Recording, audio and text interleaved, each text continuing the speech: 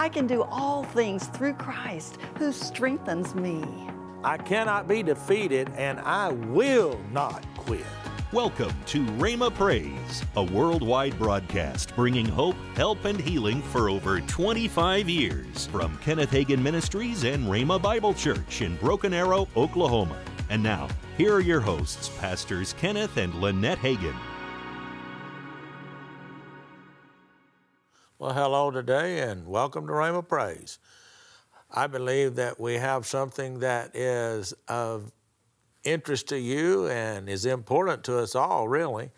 I'm talking about He's the master of the storm.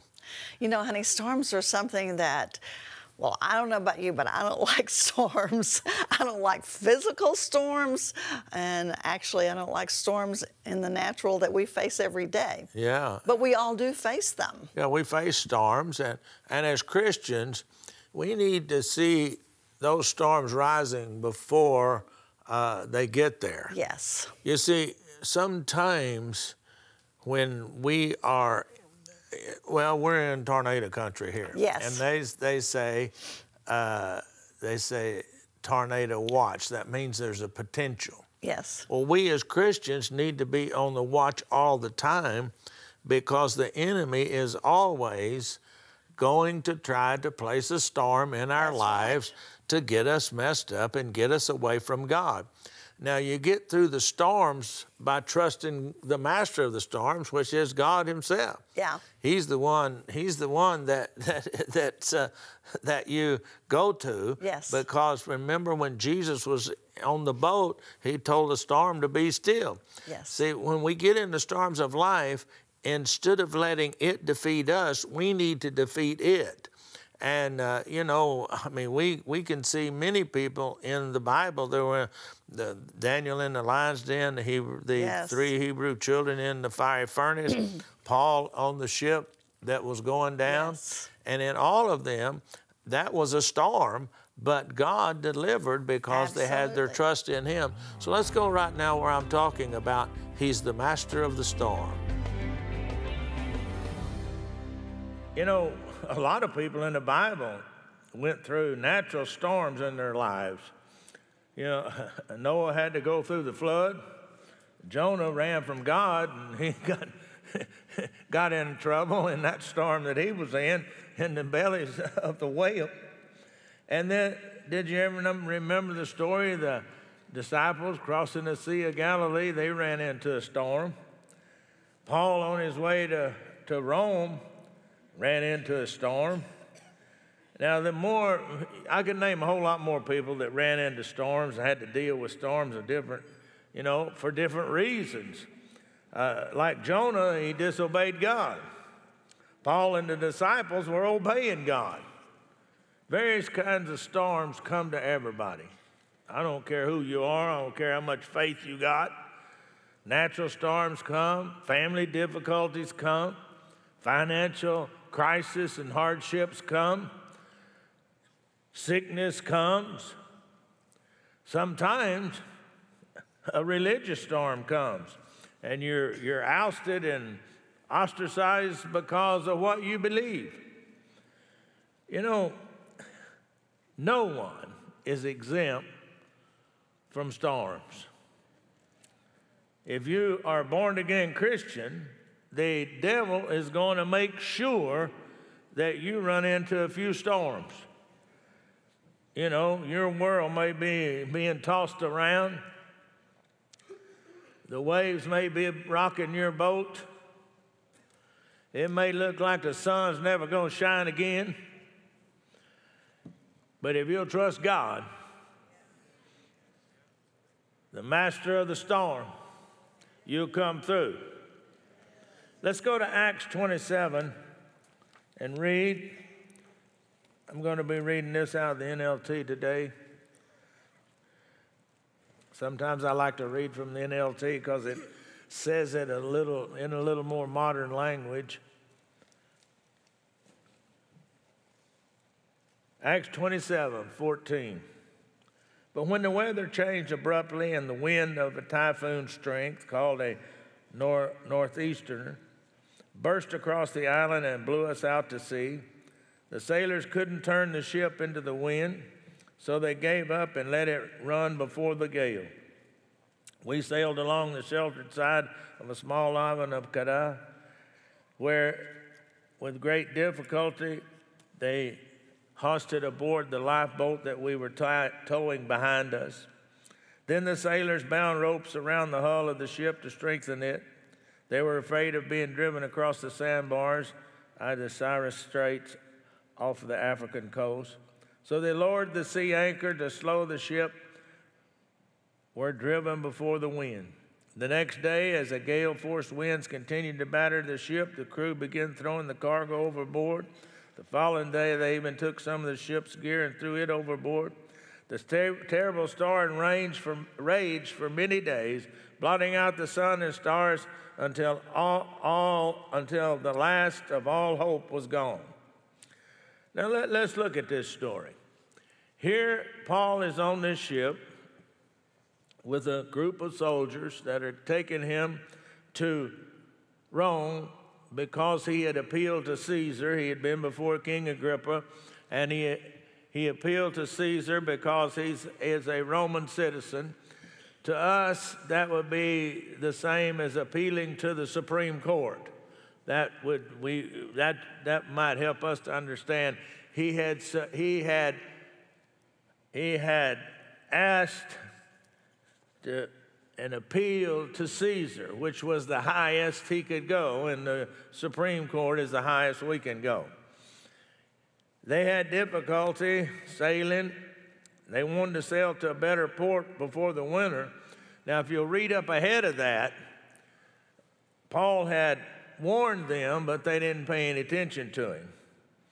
And when this, this storm came upon them, in the natural, it looked like they'd never see the sun again. Man, they were holding on to everything they could hold on to to keep when the waves were crashing over the ship. They were doing everything they could if they had to walk to keep their balance. The masts on the ship were being broken like by the wind by like matchstick matchsticks. there we go. They threw the anchor overboard to let it drag to maybe keep them from going into the rocks. And they wondered if they'd ever see the sun again. Maybe you've been in a storm like that. A giant wave of sub you know, circumstances and situations tossing you about on the sea of life. You're being blown about by the continuous winds of adversity that's coming against you, and it doesn't seem like you're ever going to get any, any relief or you're going to ever see a better day. You know, sometimes when we get into these situations, I've seen it over the years. I've been, I've been, I've been around a few years now, like about 50 of them, I guess. Uh, you might want to add 34 to that. and I have seen people, when they get into the storms of life and things are happening, and it looks like that, that the same thing that these guys, they said they're going to never see the sun again. But let me tell you what, if you'll believe God, the Son of God will appear. He is the master of the storm. The master of the storm in the Bible helped many people. I think about the three Hebrew children. There they were in the fiery furnace but the master of the storm showed up. Daniel 3. So Shadrach, Meshach, and Abednego, securely tied, fell into the roaring flames. But suddenly, Nebuchadnezzar jumped up in amazement, explained to his advisors, Didn't we tie up three men and throw them in the furnace? Yes, your majesty, we certainly did, they replied. Look, Nebuchadnezzar shouted, I see four men unbound, walking around in the fire unharmed, and the fourth looks like a god then you know the disciples on the Sea of Galilee. Remember, they were in the storm, and the storm broke up on them, and they woke Jesus up and said, Say, we're going to drown, save us. That's found in Matthew 8 24. I'm just paraphrasing it. And he asked them, Why are you so afraid? Why you have so little faith? He got up and rebuked the storm. Now, Paul and Silas found themselves in the prison cell at midnight. Now, midnight, when, when a lot of times we use the term midnight to, uh, as this is the worst thing it can be. This is, this is bad. I don't know, I, I, I'm, I'm running out of words to describe what I want to say. But anyway, how many understand what went about the midnight? you know.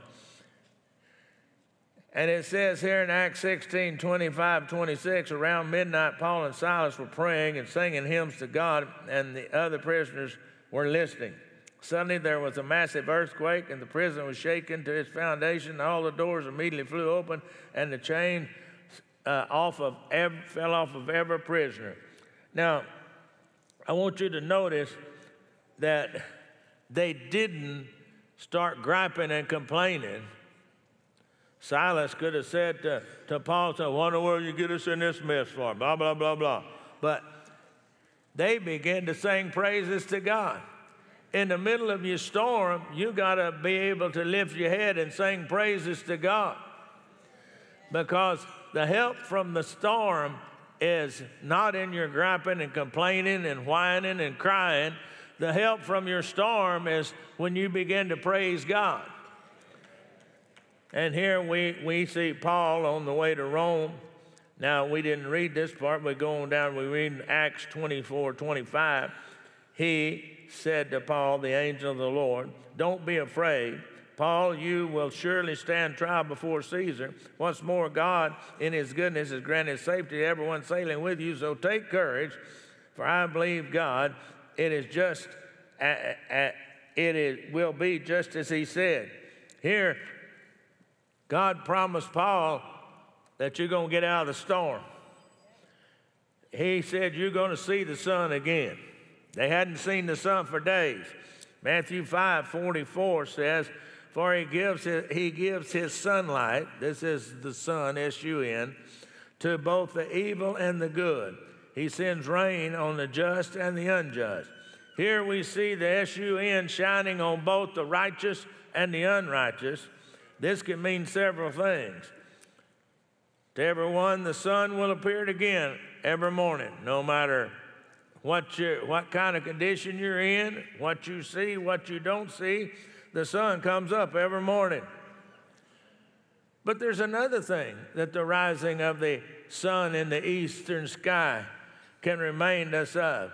It can remind us and everyone else that Jesus arose, the Son of God. And there was brightness wherever he went. Have you ever read in the Word of God when, when, when, the, when the Spirit of God came around, there's always brightness? Sometimes the devil try to tell you that you're not going to make it out of this storm. Oh yeah, God's helped you before, but this time it's not going it's not going to work. You know, he likes to do that when, you re, when you're in some kind of a situation. He like you're, you're down anyway. He never attacks you when you're up. He t- attacks you when you're down. You know, the devil may have told you that you're never going to fr- be free again, but the song we sang said you are free. You may not see any help anywhere on the horizon.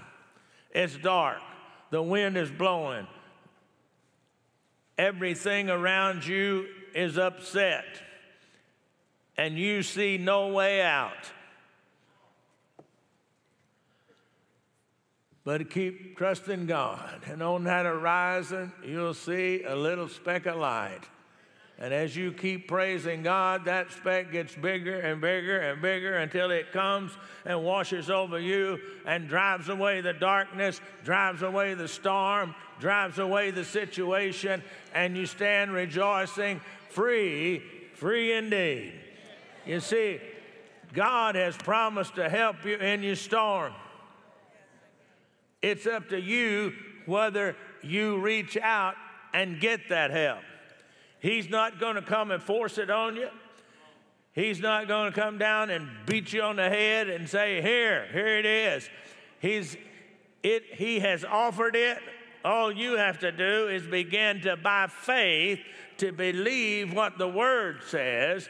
And as you believe the Word and praise Him, you'll begin to see that the darkness will flee and you'll run with glee. Hallelujah. You see, all storms are temporary, but God is permanent. The promises of God are permanent. All of your storms in life are temporary.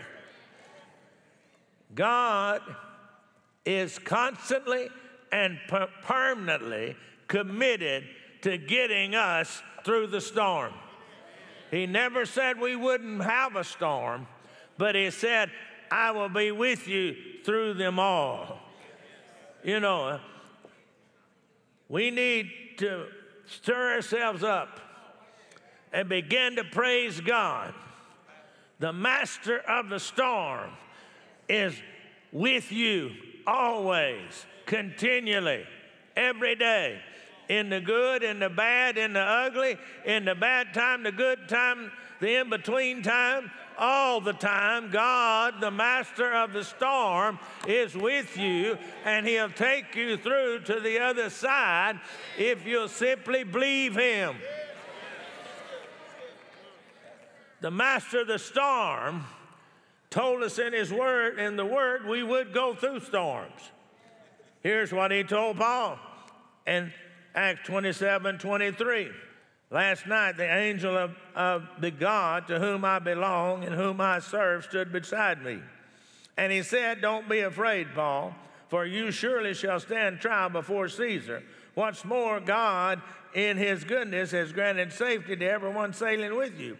So take courage, for I believe God, it will be as he said. Paul said something here that's vitally important. The God whom, to whom I belong and whom I serve. He said he belonged to God and he's serving him.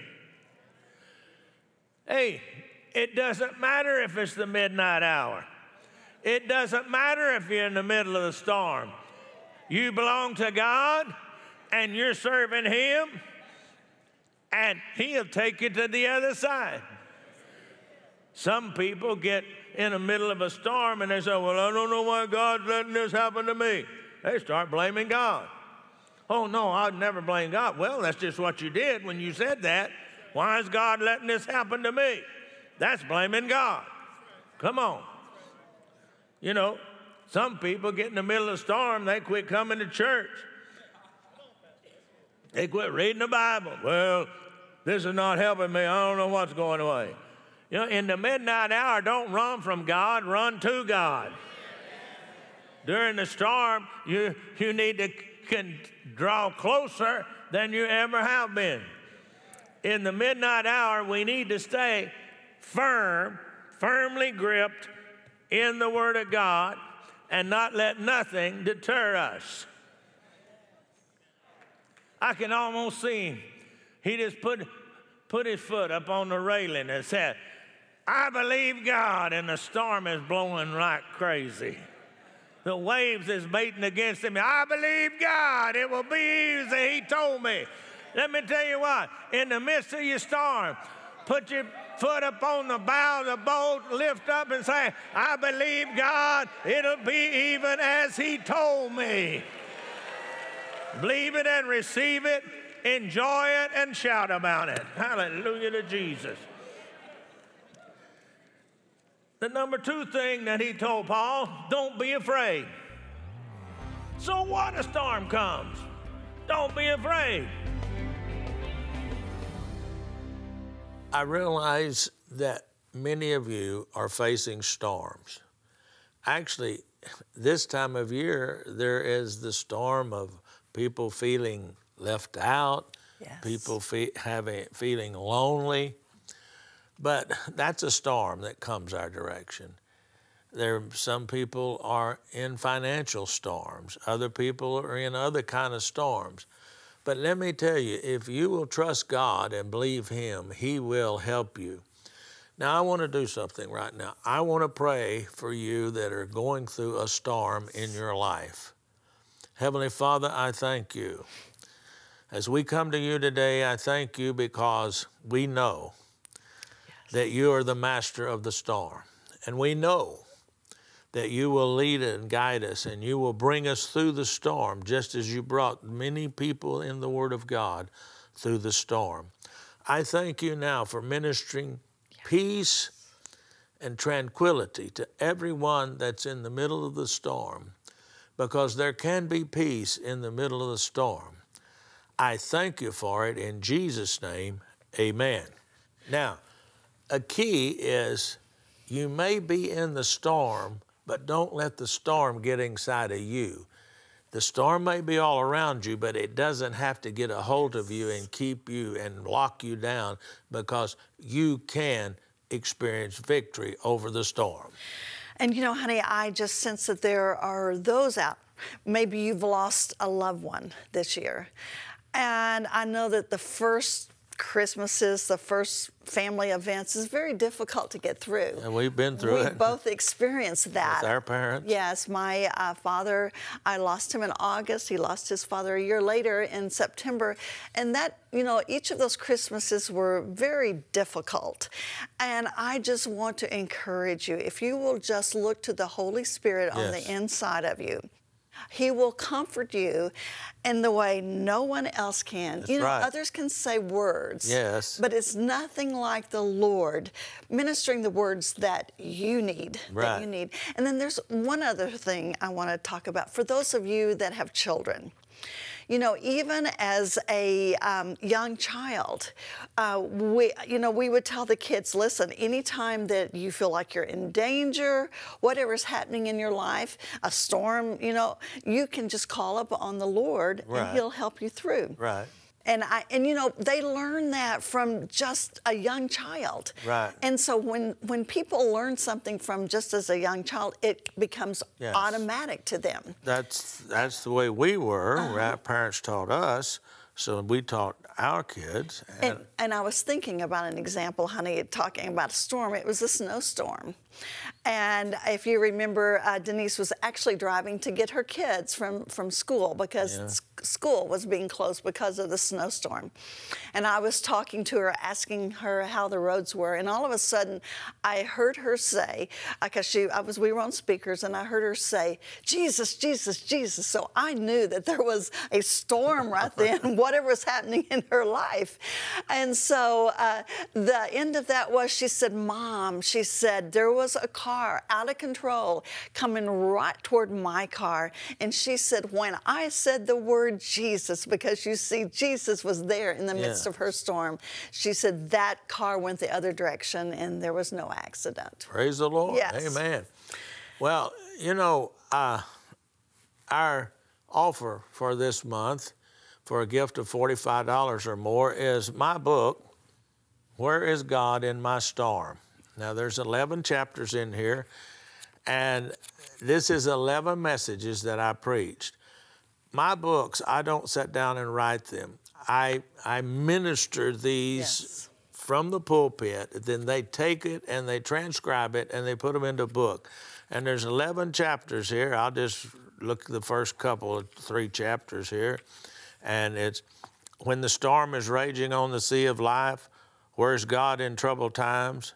God will make a way.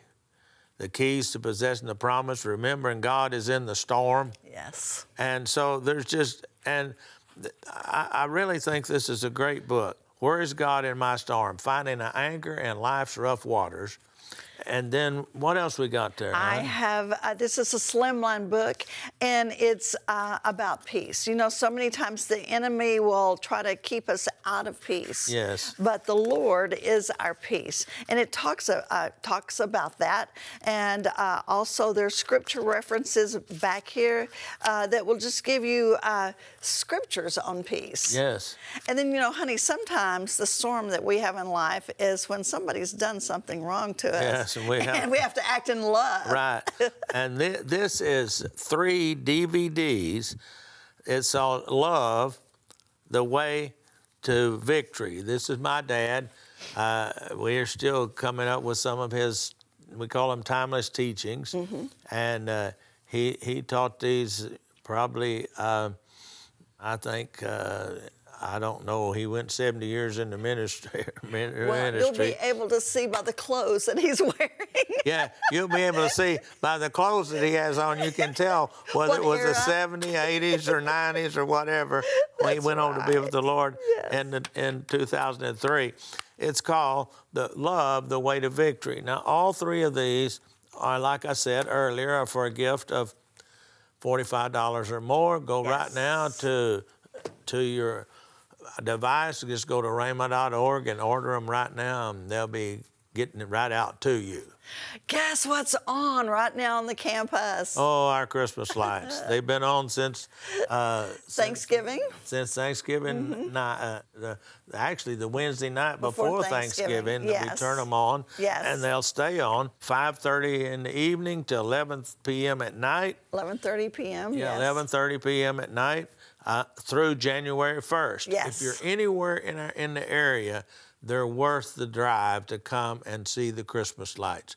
Uh, they're right here at at Rhema, right here in on in Broken Arrow on Kenosha in Broken Arrow. Uh-huh. Yes. And actually, somebody said, "I thought y'all were in Tulsa." Well, Broken Arrow is just a, a part of the Tulsa metropolitan area. Yes. And uh, you can actually go to uh, to rhemalights.org and get all the information right there. And there's pictures there, but honey, it does not oh, yeah. do the lights justice. And also, we're enrolling for the Yes. spring intake. Can you believe that? Yeah. Year's almost over. yeah, we, we start in January of uh, 2024. What? Oh, my Lord. I can't believe that. No. I, I tell you what, just go to rbtc.org slash apply. Yes. And all the information is there. Well, as we get out of here today, I want to thank you for helping us to bring hope, Hope, help, and healing to, the, world.